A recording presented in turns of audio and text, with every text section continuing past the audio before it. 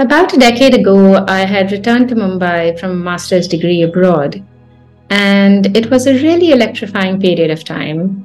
The country was young and coming of age demographically, and in the metros at least, the streets were full of protests.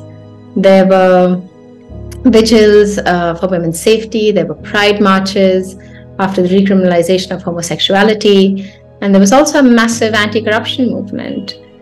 And then the general election rolled in. And uh, as all of us know, the Hindu nationalists came to power with a resounding majority.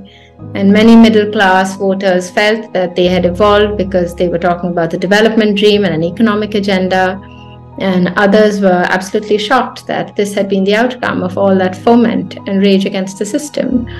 Um, but in either case, the election transformed our relationship to politics. In the past, whom you voted for didn't determine how you were seen as a friend or a neighbor or a potential date. Uh, and now there was the sense that our political identities had become all encompassing. And uh, India is not alone in this, uh, whether it's the rise of conservative values or the way the internet is shaping identity politics. There have been parallels in several large democracies um, in the decades since the global financial crisis. And so it was really to make sense of this period of reckoning uh, across the world with what it means to be a democracy and what it means to be a democratic citizen that Quarterlife slowly came into being.